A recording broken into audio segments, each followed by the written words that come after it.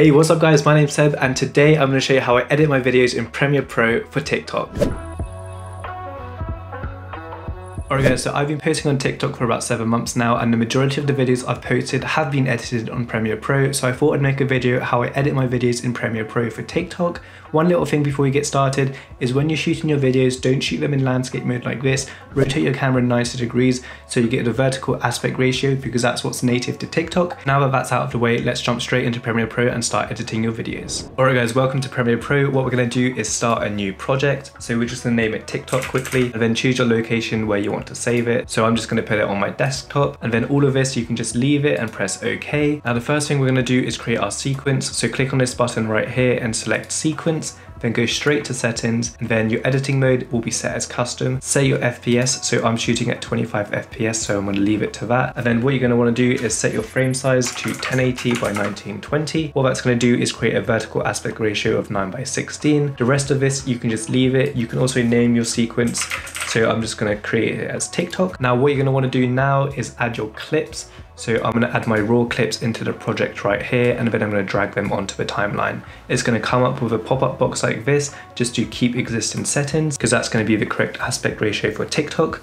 But you will notice that it's flipped and that's because you originally shot your video like this instead of like that. So all you have to do is now rotate your clip. So what you have to do is click on your clip right here and where it says rotation, you select 90 degrees. So it will either be 90 degrees or minus 90 degrees depending on the angle that you shot. Um, but for me it's 90 degrees and because I shot in 4K, I'm gonna have to scale it down so it looks a little bit nicer. Now because I'm using two clips, I have to do the same thing on the other one. But what you can actually do is just copy the settings by right clicking and select copy and then select that clip and do paste attributes now select scale attributes and motion and then that'll paste it just like that. Now the video I'm editing now is an invitation to my private Facebook group. So what you're gonna need to do is start cutting up your clip.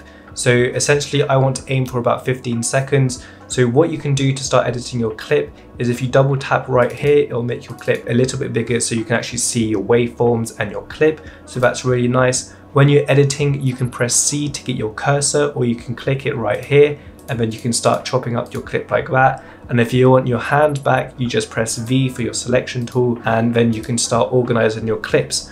So what I'm gonna have to do is put my headphones on and start cutting up accordingly so I can get the exact message across that I want to portray. So I'll jump back to the sequence once I've edited all of that up. All right, so I've just edited my clip and as you can see, it's no longer a big piece of footage. It's a 15 second video, which is perfect for my TikTok video. So I'll just play it for you so you can have a listen. If you're a video creator or photographer, listen up because I want to talk to you guys. Over the past several months, we've built a really great community here. We've got almost 60,000 followers and I want to do something a little bit more. So I've decided to create a private Facebook group where we can all connect, help each other out if you've got any questions. So if that sounds like something you're interested in, be sure to check out the link in my bio. Alright, so as you can see, the video is pretty good, but there's something missing. You can see that the picture profile is pretty flat. So what I'm gonna do now is quickly color correct my footage. So I'll show you how to do that.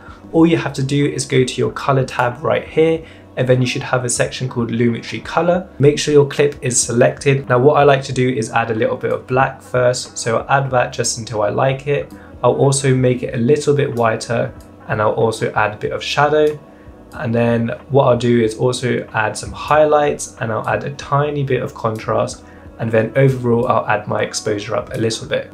Now that's already looking a lot better. If we go to the graded clip and then the ungraded clip, you'll see a massive difference. So what you can do now is copy your settings and then paste them onto the rest of your clips just like that. So now that you can see all my clips are graded, but I'm gonna go one step further and I'm gonna add an adjustment layer onto the top of my clips. So you just drag that on top right there.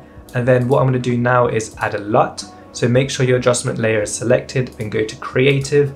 I'm gonna add a LUT that I really like. As you can see, it's a little bit red, so I'm gonna change the intensity to about 33%.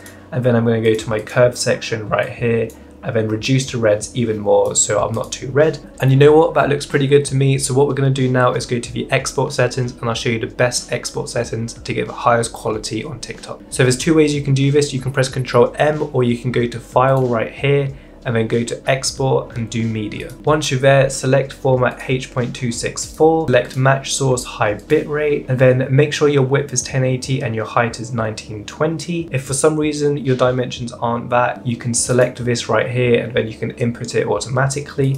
But for me, that's completely fine. We're gonna scroll down a little bit and select render at maximum depth. And then we're going to keep scrolling until we get to bitrate settings. Now I like to change it to VBR pass 2 and then I'll set both of them to 8 because that's what I find works best on TikTok. And finally we're going to select maximum render quality on.